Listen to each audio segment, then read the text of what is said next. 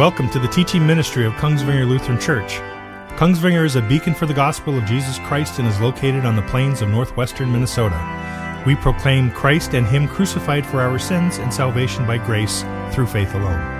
And now, here's a message from Pastor Chris Rosebrough. The Holy Gospel according to St. Matthew, the 20th chapter.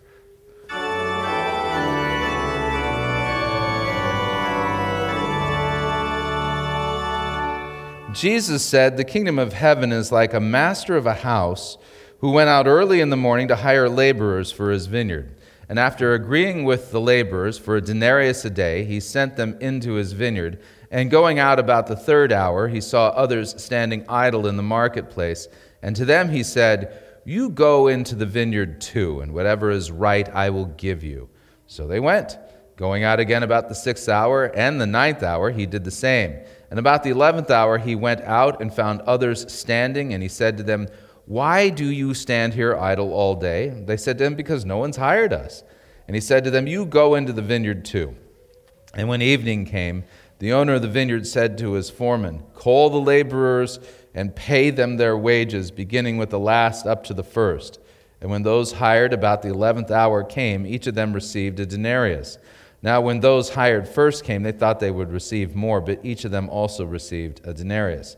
And on receiving it, they grumbled at the master of the house, saying, These last worked only one hour, and you have made them equal to us, who have borne the burden of the day and the scorching heat. But he replied to one of them, Friend, I am doing you no wrong. Did you not agree with me for a denarius? Take what belongs to you and go. I choose to give to this last worker as I give to you. Am I not allowed to do what I choose with what belongs to me? Or do you begrudge my generosity? So the last will be first, and the first last. This is the gospel of the Lord. In the name of Jesus. Amen. It's not fair. Any of you who've raised kids or been kids, you've, you've heard those words before. And boy, the things that are not fair. It's not fair. He got more ice cream than I did. It's not fair. She never has to wash the dishes. Why do I always have to wash the dishes, right? It's not fair. And you just hear it in this voice, and every one of us knows exactly what this is all about. This is how the world operates. And you'll note that this carries over into the, the, the working world. Now, one of the things I find fascinating about social media is the artificial intelligence behind it and the algorithms that are created. They've nailed me. I, I, don't, I never took out a questionnaire, things that I'm interested in but somehow the algorithm knows. And if you know me, I've spent some time in the corporate world. I have an MBA from Pepperdine University. I'm a former CEO of a healthcare management company. And all that being said, I get pushed into my social media feed videos regarding HR. Now, I know the algorithm thinks I'm interested in corporate things, but I must say this here. I believe that HR is the office of Antichrist. Okay? That's a whole other story. But all of that being said, I saw a video this past week. I thought, boy, that would just fit perfectly into the sermon. And it was a guy who, in, on, his, uh, on his social media, what he does is he evaluates emails sent to bosses by employees. And what had happened is, is that this fellow went and had a meal with some of his fellow employees. And it turns out that this particular employee, among all of those who had the same title and position that he had, he was the best performing. He managed more accounts, brought in more money, and after having some conversations with some of his fellow employees, found out that he was making 13% less money than they were. And people who had been at the same job the same amount of time that he had been there. That being the case, you can hear it's not fair, right? Because what do we expect? What's the big mantra nowadays? Equal pay for equal work, right? That's what we that's what we want. This is how the world operates. This is what we're pushing for. And so the guy sent an email to his boss and let him know that he was aware of the, the disparity and he expected his boss to fix it and the boss making a boneheaded move. And I mean, oh, just because you're a manager doesn't mean you're smart. I just want to put that out there. Just because you're in management doesn't mean you know what you're doing. So his, his boss fires back an email and says, It is against company policy for employees to discuss their pay with other employees. And I can hear my alarm bells going off because in my MBA, we have to pay attention to things like this. It is against the law to forbid your employees to discuss their pay with each other. When a po- corporation has a policy like that, it's because they're ignorant and they don't know the law. The guy didn't do anything wrong. And he says, if you continue to ask me questions along this line, we will have to bring you up and, and consider some disciplinary action against you. But then a couple weeks later, what did the guy do? He tendered his resignation. He says, I'm officially giving my two weeks' notice, and I'm expecting, because I have so much PTO and I have some vacation time to take care of these things, that you will not see my face, but I'm officially gone as of two weeks from now, and I expect to be paid the end. And you sit there and go, Yeah, stick it to the man. Yeah, what a boneheaded thing. And the thing is, this is how the world operates. Okay? Everything has got to be fair, everything measured out, equal pay, equal work. This is how everybody thinks. But that's not how the kingdom of heaven operates. And it's important for us to keep this in mind so that we do not grumble against God. Uh, let, let me kind of give another example here. You know, um, I'm assuming that you all read your Bibles, right? Some of you maybe read your Bibles more than others. How many of you are praying every day? I'd like to show of hands. How, you know, and, and that being the case, how many verses have you been reading in your Bible? And maybe what we should do is rather than me giving a general absolution, I, as a called and ordained servant of the word, I forgive you all of your sins, I will say this week, Stephen Elliott, David Fagerland, and the DeBoer family have their, their sins are forgiven. The rest of you, try harder next week. I don't think that would go over very well. but Fagerland's happy that for, for once I've said something positive, right? uh, so you'll note the kingdom of God doesn't work like that. And that's the point that Jesus is getting at in part. And so there's wonderful layers to this particular parable. But partway through the sermon, what I'm going to do is I'm going to back up into the context. So I'll, I'll put the thesis out here first. This is about salvation by grace through faith alone, apart from works. This is how the kingdom of God operates. Now, I know this because of the context, but let me take the passage at face value apart from the context, and you'll still see how this works. So Jesus says, For the kingdom of heaven is like a master of a house who went out early in the morning to hire laborers for his vineyard. Now you'll note that that's beginning of the sentence, for the kingdom of heaven is like for the kingdom of heaven is like, that means that there's something else going on. The context comes into play. So here we've got this master who goes out early in the morning to hire laborers for the vineyard. Now, since this is about salvation by grace through faith apart from works, that does not mean that we Christians do not have works to do. Again, Ephesians 2 8, 9, and 10 For by grace you have been saved through faith. This is not your own doing, this is the gift of God, so that no one may boast. For we are God's workmanship, created in Christ Jesus for good works. And I want you to know this that God has prepared those good works in advance for us to do. And we are saved unto good works. We are not saved by our good works. Anybody who thinks they're saved by their good works is a self righteous person who does not rightly understand the proper distinction of law and gospel. And the self righteous are inherently haughty arrogant, and on top of it, they grumble, grumble, grumble, grumble, grumble, grumble against God because they always think that they're in the right. Think of them like spiritual Karens, okay? This is what we're talking about here. So here we've got this master of the house. Now consider the scenario, and the scenario goes something like this Who planted the vineyard? The master did. Who made sure that those, those vines were doing their business, pruned them, and all that kind of stuff, and made sure that they were producing fruit? The master did. So the guys who were hired, all they had to do is come and pick the fruit that was all the work done by the master. Keep that in mind as we work our way through this. So he went on hired laborers in the morning, and after agreeing with the laborers for a denarius a day, he sent them out into the vineyard. And going out about the third hour, he saw others standing idle in the marketplace. This is important when you kind of consider the greater meaning of this. And that is, is that when you do not trust in Christ, you are not doing the good works that God has called you to do because Hebrews says without faith it is impossible to please God. It's not difficult, it's not hard, it's not a challenge, it's impossible. So, that being the case, you'll note that the unbelievers are likened as those who are sitting idly, not doing the works that God has called them to. Whereas those who trust in Christ are doing the good works that God has prepared in advance for them to do, and they are busy about the work of doing the business that Christians do because they're Christians.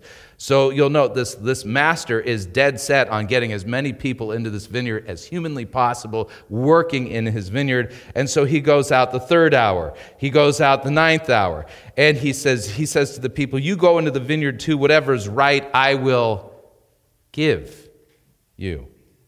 So they went. Going out again about the sixth hour and the ninth hour, he did the same.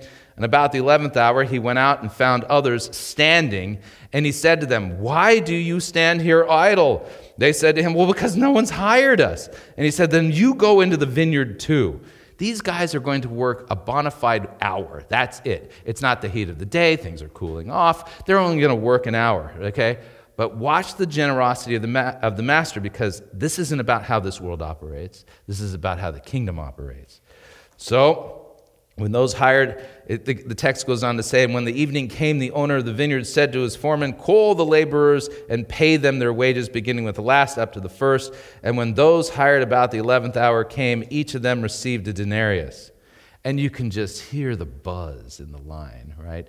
The guys at the back of the line who were hired first in the morning, they're sitting there going, He's giving out a denarius an hour. All right, this, we're, we're going to be rich. This is going to be awful. This is going to be awesome, right? And so when they came to the front of the line, they also received a denarius. And then they grumbled at the master of the house as if the master of the house had done something wrong, as if this, it's not fair. Yeah. Right? And here's their complaint. These last, they only worked one hour. You've made them equal to us who've borne the burden of the day of the scorching heat. Equal. Hmm, are we not all equal in Christ? God shows no partiality. And so here, I think it would be a good idea to back up into the context so that you can see how this is connected, because there's something really important going on. So, if you have your Bibles, go to Matthew chapter 19, starting at verse 16, and you'll see that this forms the context of this parable. It is the story of the rich young ruler. It says, Behold, a man came up to Jesus, saying, Teacher, what good thing must I do to have eternal life? And Jesus says, Well, you know, don't dance, drink, smoke, chew. Make sure that you have your devotions twice a day. And, uh, and be sure to tithe and, and all that kind of stuff and, and, and do charitable things. And no, he didn't say that, right? You're going to note that the question itself shows the problem. And this is a loaded question, it assumes something. I've said it before and I'll say it again. My wife is like a master of the loaded question. And the loaded questions that she asks are not safe to answer. So if she asks a question like this You're going to mow the lawn today, aren't you? No, that's a question. But I would be foolish to think that it was anything less than a command. Okay? because you're going to note that, that there's some assumptions going on here. And the answer to that question is yes, ma'am, and don't make any eye contact. Keep your head down, mouth shut, okay, and just get the lawnmower running, okay? But you, you get the idea. So note the question Teacher, what, must, what good thing must I do to have eternal life? Are we saved by our works? Is there something you can do? Must I travel to Rome and, and do a pilgrimage to Jerusalem? Must I give all of my money to somebody else? What, what must I do? Right? And so Christ answers his question, but he ignores the answer. He says, Why do you ask me about what is good? There is only one who is good. There is only one who is good. And ain't you. It's definitely not me. So if you would enter life, then keep the commandments. And Jesus isn't saying that you're saved by your works. He's now going to use the law to show this guy his sin. So he said to him, Well, which ones? And Jesus says, All right. And what Jesus does next is fascinating. He goes into the second table of the law. First table of the law has to do with our relationship with God, right? Second table has to do with our relationship with others. And he says, All right, you shall not murder, you shall not commit adultery, you shall not steal, you shall not bear false witness, honor your father and mother, you shall love your neighbor as yourself. And the young man said to him, All these I've kept. What do I still lack? And each and every one of us hearing his answers, just sit there and go, Really? Seriously? I mean, are you married? Let me talk to your wife. I mean, we'll get this sorted out pretty quick, right? I mean, who, who talks this way? I'll be, I'll be blunt. I, the only people I've ever heard talk this way are those delusional enough to believe that they can somehow achieve sinless perfection in this life. And that's a heresy. The church actually condemned it as a heresy when Pelagius leered his ugly head in, in church history. You cannot, nobody is, has achieved sinless perfection. In fact, what does First John say?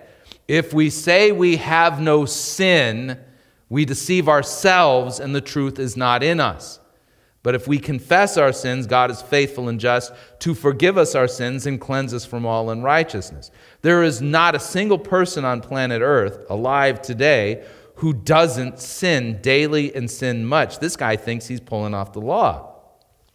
So Jesus, not really playing along, but really pushing the point in a very polite way, he says, All right, if you would be perfect, go sell what you possess and give it to the poor, and you'll have treasure in heaven, and then come follow me. And the text says, uh, When the young man heard this, he went away sorrowful, for he had great possessions. Oh, that's a first commandment issue, isn't it? Uh huh. And I would note this a funny thing self righteousness and the love of money oftentimes goes hand in hand. It's a weird thing. Okay, well, the whole word of faith movement, it's a completely legalistic system. And its, its entire focus is on what? Having prosperity and health and wealth and things like this. You can tell that you're really blessed from God because you have that private jet. Okay, I have a private jet. It's about this big, and it fits on my desk, and I have it in a box somewhere in my. But I have a private jet too, and I have now four Aston Martins. Of course, course, you have to cremate me and put my ashes in the thimble in order for me to drive those things. But that's a whole other story, right? So you'll note that in the self righteous way of thinking, I know that I'm obedient and I am being blessed by God because I have money, I have wealth, I have power, I have influence, I have affluence. And those who are cursed by God, what do they have to do? They struggle to put food on the table. They have to eat spam and things like this. And they buy their clothes from, you know, secondhand stores and things. They're truly cursed from God. The two go hand in hand in, in, in the way of thinking of people who are self righteous. But you'll note this this is no indicator of whether or not you are blessed of God. Those who are blessed of God who have their sins forgiven by Christ, because Christ has bled and died for the ungodly. So Christ points this out. He runs away sorrowful. And at this point, the, the disciples are just looking at like going, What's going on? So Jesus said to his disciples, Truly I say to you, only with difficulty will a rich person enter the kingdom of heaven. And so Jesus takes some C4, puts it up against the self righteous beliefs of the, of the Pharisees, and just goes boom, blows the whole thing up. And he then says, And again, I tell you, it's easier for a camel to go through the eye of a needle than for a rich person to enter the kingdom of heaven. And when the disciples heard this, they were astonished greatly. Who then can be saved? Is their question. What do you mean? The rich aren't blessed of God? Huh? Who can be saved? And then Jesus says, With man, this is impossible. Salvation is impossible apart from God, but with God, all things are possible. And then Peter legitimately starts to add a few things up, and he asks a very interesting question. He says to Jesus, We've left everything and followed you. In fact, we don't even have anything now. They don't even have a house to stay in. They are living off the charity of others, traipsing about the Judean wilderness and going to village to village, uh, listening and supporting Christ's preaching and teaching. We've left everything to follow you. What, what, what then will we have? Jesus said to them, Truly I say to you, in the new world, note the emphasis, in the new world, when the Son of Man will sit on his glorious throne, you who have followed me will also sit on 12 thrones.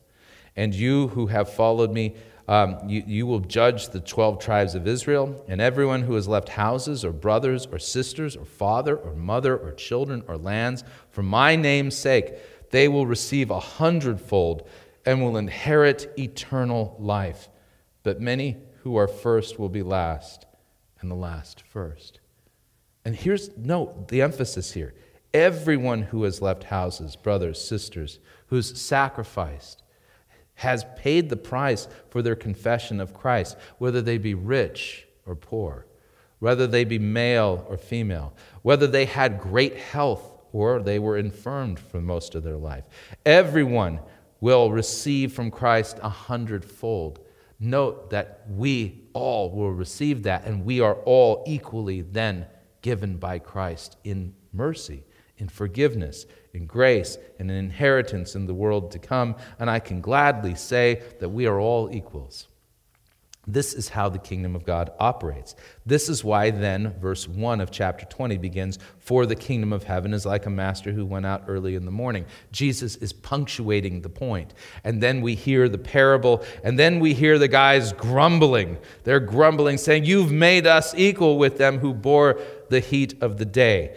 But listen, Master says, Friend, I am doing you no wrong. Did you not agree with me for a denarius? And then you'll note that this is important for our thinking this, because we can legitimately say as Christians that somebody is saved and has received from Christ as a gift eternal life, whether they are baptized as an infant and they have been a Christian their entire life, or whether they confess Christ on their deathbed. And for the first time in my life, I have legitimately heard of a fellow who confessed Christ in the last days of his life. And I can tell you this it showed in his good works as well. And I'm humbled by the thought. And I am I'm really looking forward to the day that that man, as my equal, will be with me in heaven and in the new earth. And we are all equals. And if you sit there and say, it's not fair, you're right. It isn't fair. It isn't fair because God isn't fair in the kingdom. Think of it this way What sin did Christ commit? What wrong did he do that he was crucified? Not one. He was the only sinless man in all of human history. And yet, God gave him something he didn't deserve your sin, my sin. As Isaiah said, God has laid on him the iniquity of us all. You want fair? Then you want hell. But in Christ's kingdom, it isn't fair. And thank God it isn't fair because it says that Christ died for the ungodly. That's me, and that's you.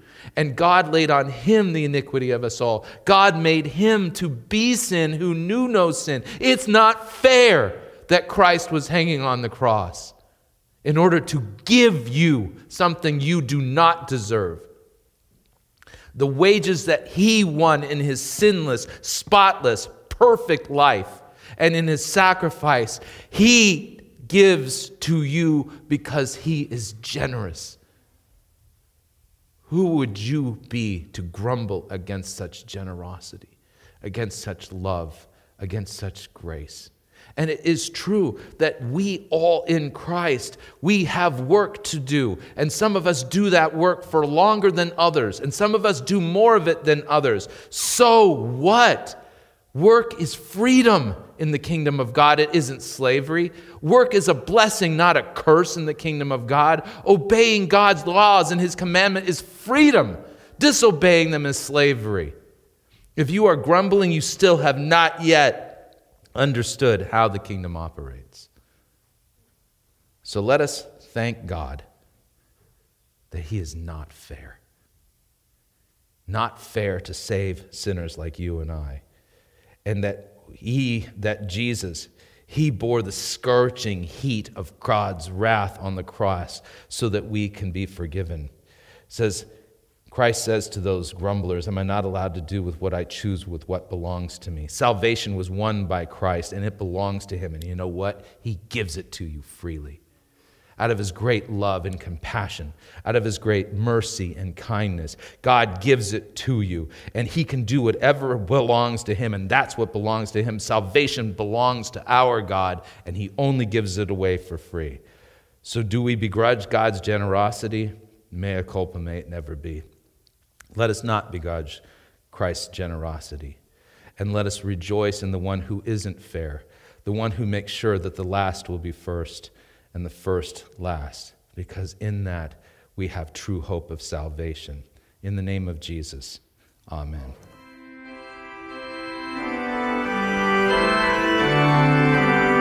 If you would like to support the teaching ministry of Kongsvinger Lutheran Church, you can do so by sending a tax free donation to Kongsvinger Lutheran Church, 15950 470th Avenue Northwest, Oslo, Minnesota, 567 44. And again, that address is Kongsvinger Lutheran Church, 15950 470th Avenue Northwest, Oslo, Minnesota, 56744. We thank you for your support. All of our teaching messages may be freely distributed as long as you do not edit or change the content of the message. And again, thank you for listening.